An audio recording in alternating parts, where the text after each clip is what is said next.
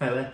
In this video we're going to be building this neck here, which is to go with this pine body which you might have already seen me building in a different video. So this is part two and we're focusing on the neck. This is a one piece Cuban mahogany with Blackwood Tech fingerboard. It's going to have Hipshot ultralight tuners and it's got a dual action truss rod. Uh, so we're going to start right from the beginning where it's just a square piece of wood with the truss rod routed for and then end up at this stage here which is rough sanded, all carved out. So we're going to go through all of those stages in between as well. So hope you enjoy. So we've gone back onto the neck now, and just off camera I've slotted for the truss rod here. It's just really simple, just use a simple jig to cut a slot. And then I allowed a little bit extra because I put a filler strip in here. I like to use a filler strip, not everybody does. But this just gives it, uh, cuts down any vibrations going through the neck, which you don't want, any sympathetic vibrations. And also make sure you don't get as many dead, any dead spots, which can be a problem with Fender style headstocks. So next I'm going to attach the templates to this, just like I did the body, and cut this out.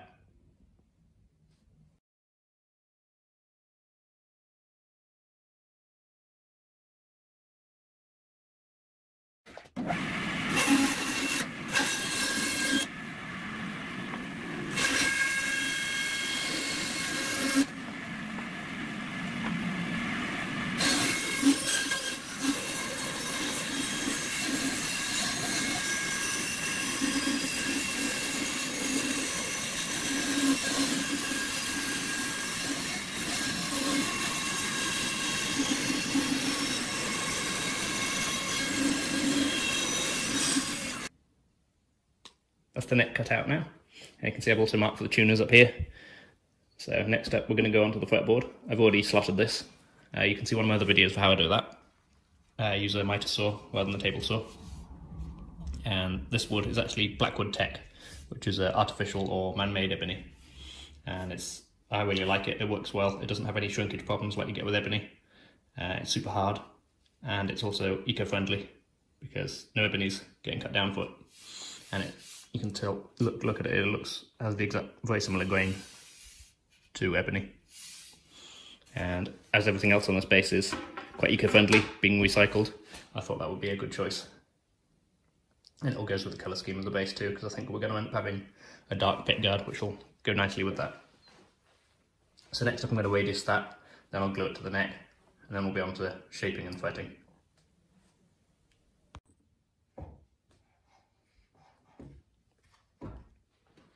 So this is my radius jig. I haven't clamped it down or anything yet, it's just sitting here, but it will be. I've got my fretboard here with double-sided tape attached to this.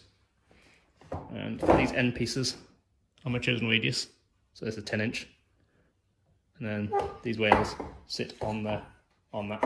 And then I make the passes by the rat will sit in this sled here, and it'll go forward like that. And then I'll move the rails over and make another pass about five or six passes and I'll be done. Uh, much quicker than doing it by hand. I'll probably do a more detailed video on this jig at some point, but that's just give you a quick look at it.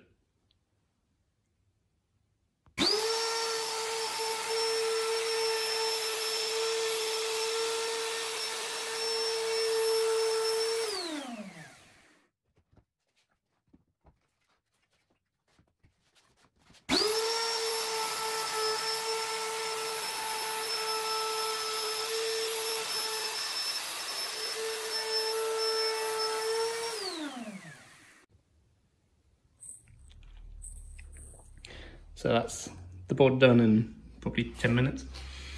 Uh, so it's much quicker than hand sand again. Um, you can see I've left extra here. This is all going to be cut off. And extra width, of course. It's only going to be a narrow neck. And extra up here. Um, that's because you can sometimes get bits of blow off the side and it tears out. Uh, so if you leave a bit extra, you don't have to deal with that. And I leave it extra up there, these two ends, just so I can set the depth See here, went a bit deep. I didn't really want to go that deep, which is fine because it's going to be cut off. So I just use that to set the depth and then carry on. I've got it by here. So it's only just touching the top of the radius really, so you're not losing too much thickness of it. So this just needs some sanding now, and I'll be ready. So there's just one more step before I glue on the fretboard, and that's cutting the thickness tape of the neck. So the neck is taped down, double-sided tape to this the base of the jig, and we've got tapered sides on this for the wet to sit on. So this, will slide along there, cutting the taper.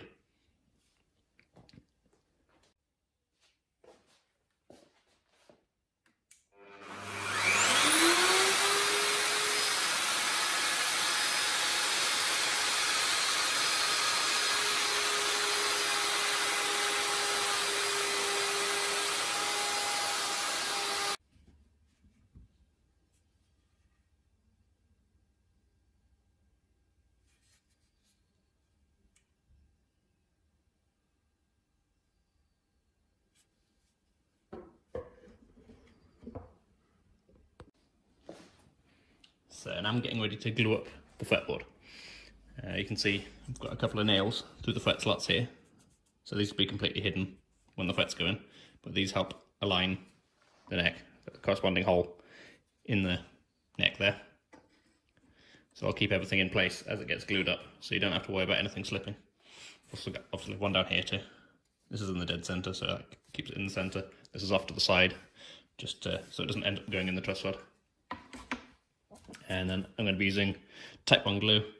Uh, I use a lot of epoxy nowadays on joints, but for fretboards, they may need to come off at some point if something bad goes happens in the future, like the truss rod goes or something like that. So I always like to use one that can be reversed, where epoxy is quite difficult to undo. Um, and I'm going to use these, these uh, planed on the planer to make sure they're 100% flat. And I've also got some tape on here to stop them sticking, and these will be used along the fretboard to distribute the clamping pressure one on either side of the neck.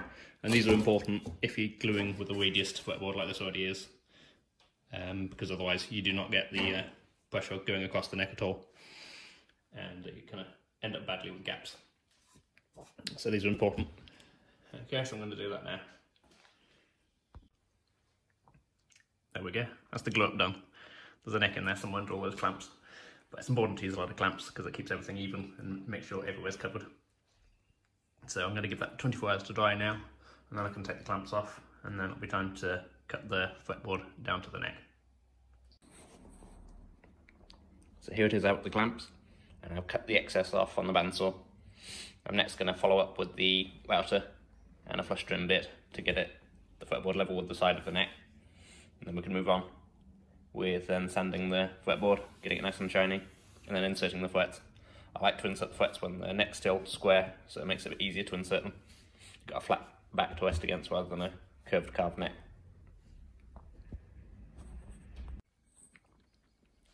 So here's the finished glue up and now it's nice and flush with the edge of the neck. Uh, I've also rolled the edges and you can see the glue up, there's no glue line or anything so it's tight all the way along, which is what you want and I've also sanded the board up to about 500 and then I followed up with quadruple steel wool to polish it up. And I've also chiseled out the nut slot here using this nice old vintage chisel. So next we can go on to shaping the headstock and shaping the back of the neck. But before we do that we're going to insert the frets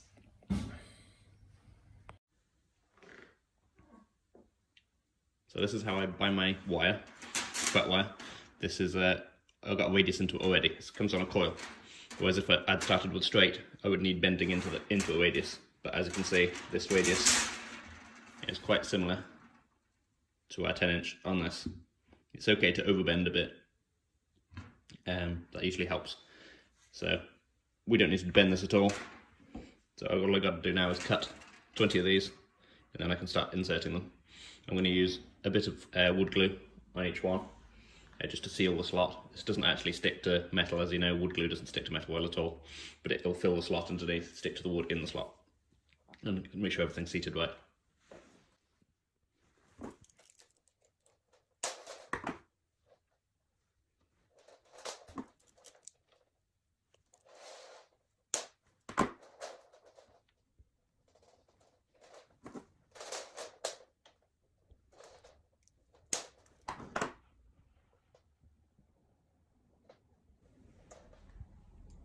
So I'm just using the neck to hold on to the wire at the moment. I'm not actually inserting it, just just place to store it, to make sure we've got them all long enough.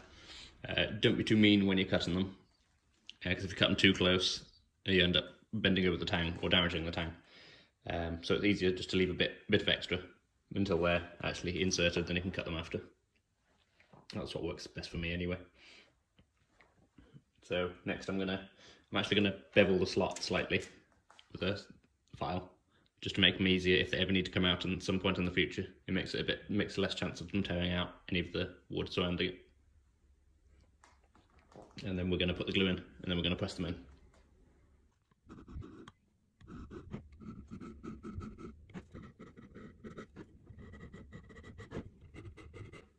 So as you can see, it's quite minor. You can only just tell I've done it. The slot's just a little bit wider at the top. And that, as I said, just if they ever need to be pulled, it stops them chipping out from the sides. And it also allows the flat to actually seat, seat even better uh, than it would if you didn't do that. Uh, some people do it a bit more than that. Um, I like it fairly minor like this because if you're not careful, you can actually make the flat seat worse by doing that if you, if you end up creating different flat spots on the top.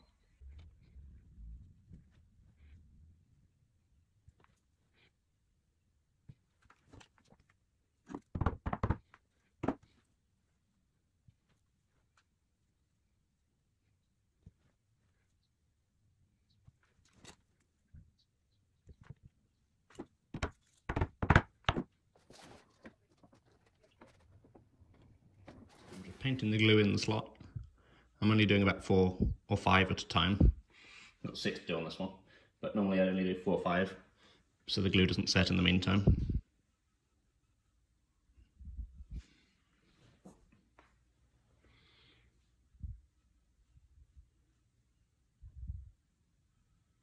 And then I'll tap it in, just hold it in place. With the the hammer. And then I'll go to the press.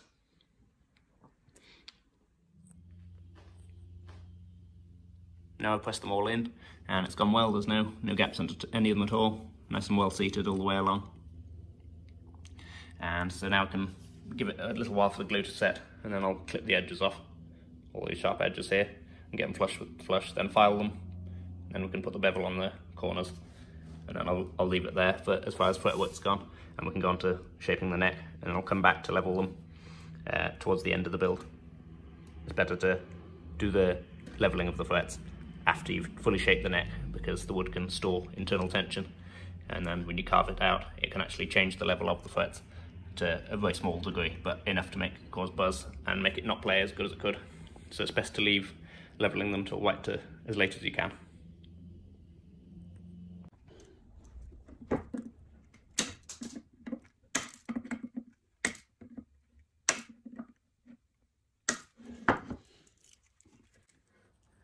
So now we're going to cut the uh, headstock thickness using the router and this jig here. This is actually my scarf joint jig. You can see this end's angled. So normally you'd have an angled headstock in there and this would cut the angle for you. But we're not using this section today, we're just going to use this bit up here where it's just nice and flat and parallel with each other.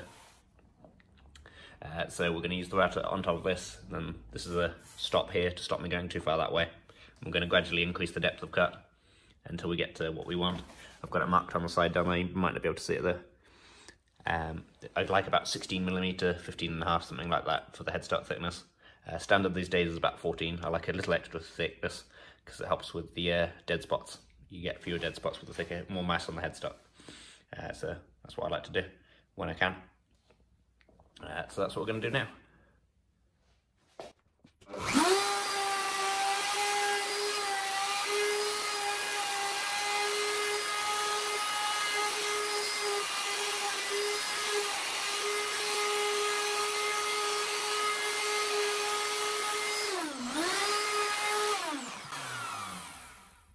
You can see that's the thickness gone now.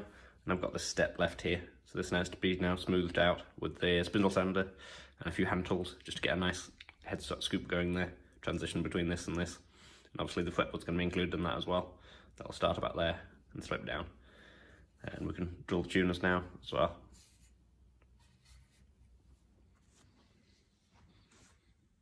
So I've now got that shape in there, the transition between the where that step was before and I've also sanded the headstock to 120 grit, uh, just because it's better to do the rough sanding before you drill the tuner holes because it can catch the sandpaper as you sand it. And then you end up with some scratches, deeper scratches than there should be. I've also sanded the back. Uh, so now we're going to drill the tuner holes and then we can go on to neck carving.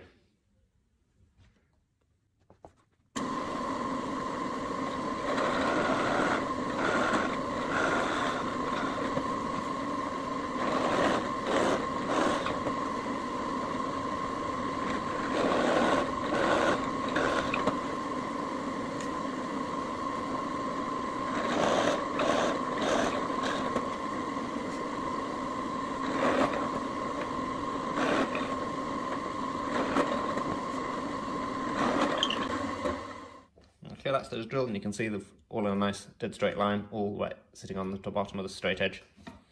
And you'll see there's no chip out on the front or the back. Um, you'll notice I drilled from the top most of the way through. I set the depth stop on the drill so I didn't come out the back. That's because if you come out the back, you'll typically get a big uh, splinters coming out the back of here. So it's always best to drill from one side most of the way through until you get to the bad point, pops through the back, and then you can drill from the other side. That way you won't have those annoying splinters, which can happen if you just go straight through. Now we're going to move on to carving. Uh, I use the facet method of carving, uh, where you first draw up your neck and your chosen neck profile, which I've done here, and then you will draw it into a square box, and you'll draw lines of where you want to remove the waste. And then these lines here, so the edge of the facets, this one here and this one here, are then marked onto the neck. So you can see that, you might be able to see them there one there, one on the side. So we have to connect these two lines, carve these flat, and then you'll end up with uh, more of like a like a this shaped neck, almost like a V, but then with a flat on the top. And then you carve the secondary facets on the top here, just on the corner, which will be here, and on the edge of the fretboard. That's normally enough. You can do another facet if you want, uh, another couple of facets, but that's normally enough then to be smoothed out, and then you end up, end up with the profile. Uh, I like to use a whole different load, loads of tools, just um, I like to use the draw knife and various different files and rasps. Uh, I'm probably going to do a time lapse now, and you can see me doing some of that.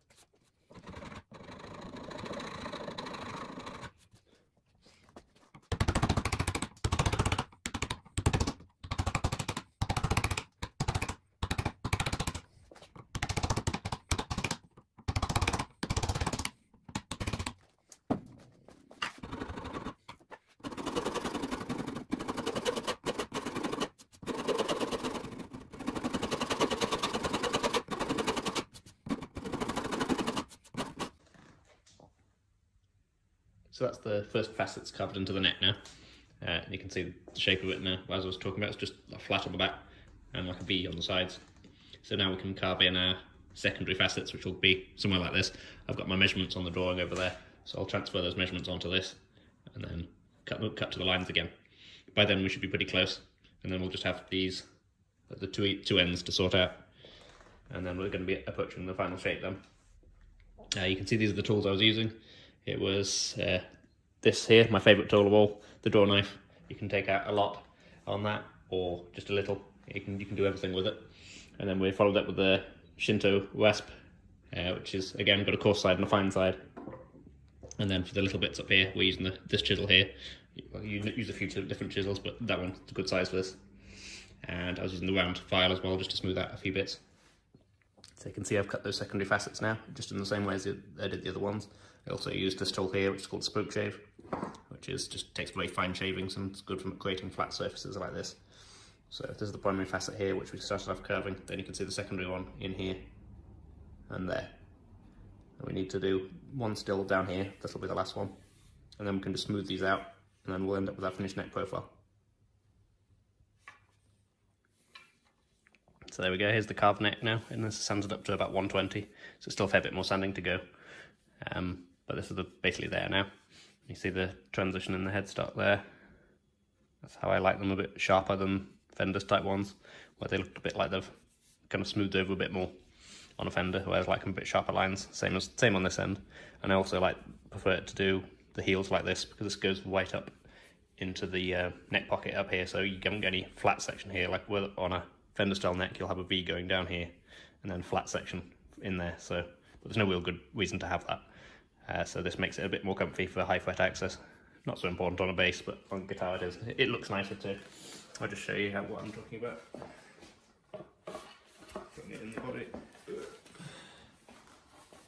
There we go, you can see it goes right up to it there. There's no extra flat in front of it. And I'll probably actually smooth this off even more to make it just completely seamless. So other than some fine sanding and drilling small little tuner holes on the back, just the mounting holes, and making a nut and the side dots, they're the only remaining jobs for this neck now. Um, I'm going to use this, this is Luminlay, uh, it's small, the small size, 2mm, so I'm going to mount this in the fretboard in the centre, I think. Uh, if it was bigger, I would mount it on the seam and drill it into that. Uh, but this one's small enough to just be in the fretboard. So that's what I'm going to do with that. And that's a fairly simple job. Just need to draw a line down the centre of the fretboard and then measure the centre of each position. Uh, 3, 5, 7, 9, 12, 15, etc. So I've now drilled the holes for the inlay, the Luminlay, and then this is how I put them in. I use a cocktail stick with some super glue on it. Drop that in the hole. Make sure there's enough in there. and push this in. And then, because that will, I don't want to try and cut that until the glue set, I spent with a bit of activator, super glue activator. And let that evaporate a second, and then I can trim it off. You can use clippers, and most people do, but my favourite thing for doing it is a jeweler's saw, because I can get right close down, and it doesn't destroy the top of it, then you get a fairly clean cut off it. Whereas if you use clippers, you can mushroom the top and it gets all messy. So just use this and making sure I'm keeping it away from the neck and cutting it upward angle, so away from the, from the neck.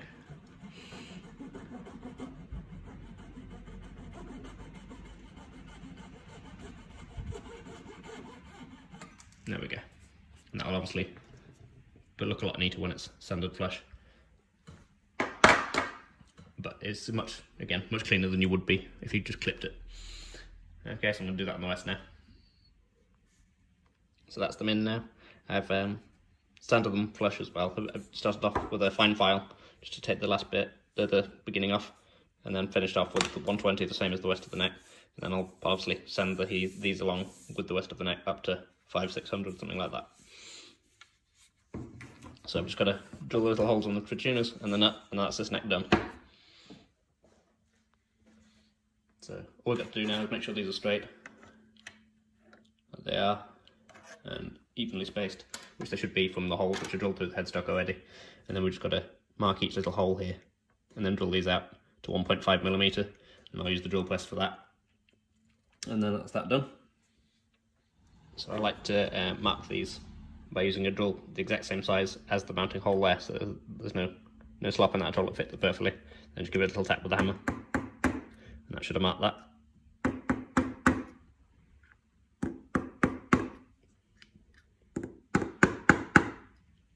And then uh, I can remove the tuners, uh, them with that, and then drill them out. And for the nut, I've got this bone one here, which is actually one I made for another bass years ago, and then it, I, I, think I cut one of the slots too deep or something like that, but it's not going to matter for this one because these have got lower frets than that one obviously had. So I can use this nut. Uh, the only thing is it's a little bit high this way, so I can file that down, and then that saves me having to make a one from scratch, which I normally do. So that's basically all the jobs for now done on this neck. It's going to need fine sanding later on, and it's going to need a string tree, and obviously finishing oil and the frets leveling. But for now we're going to leave this neck and go back to the body. So that's it for this one. Thank you very much for watching. Um, please subscribe if you'd like to see more content like this. And the next video we'll be going back over to the body and we'll be doing putting it together and the finishing, all that good stuff. Uh, so stay tuned for that one and I'll see you soon.